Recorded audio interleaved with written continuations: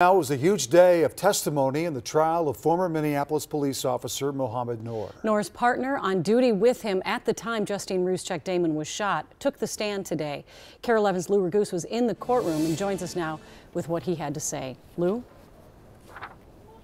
Julie, Officer Matthew Harrity felt more like a witness for the defense than for the prosecution, testifying that he was scared when he heard a thump and Justine Ruszczyk Damond surfaced at his window.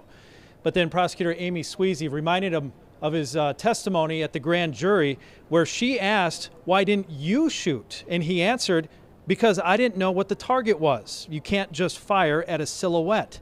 She finished by asking him, with that said, whether using deadly force would have been premature. And he said, Yes, with what I had. On the witness stand, Officer Matthew Harrity, Mohamed Noor's partner, describes driving into the alley behind Justine Ruszczyk Damond's home with his headlights off to look for signs of a person in distress. Why didn't you turn on your body camera? Prosecutor Amy Sweasy asked. We didn't have a policy stating we needed to, so I didn't feel it was needed at that time, Harrity answered. Harrity said he suspected the noises Ruszczyk reported were just kids hollering. But Harrity said he took the safety off his gun holster because, quote, every call I consider a threat until it's not a threat anymore. I'm going to do everything to make sure I go home to my family. After reaching the end of the alley without finding anything, Harrity said, I hear something hit the car. Then I hear a murmur.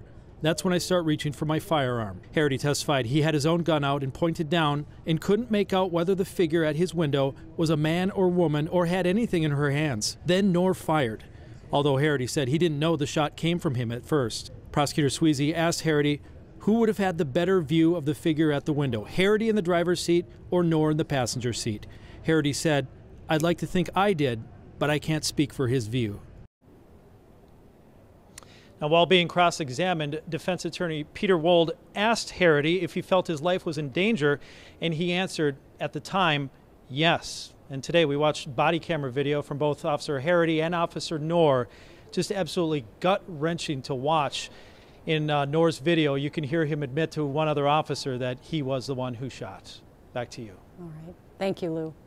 We will continue to bring you the latest in this trial on our KARE 11 social media pages and KARE11.com.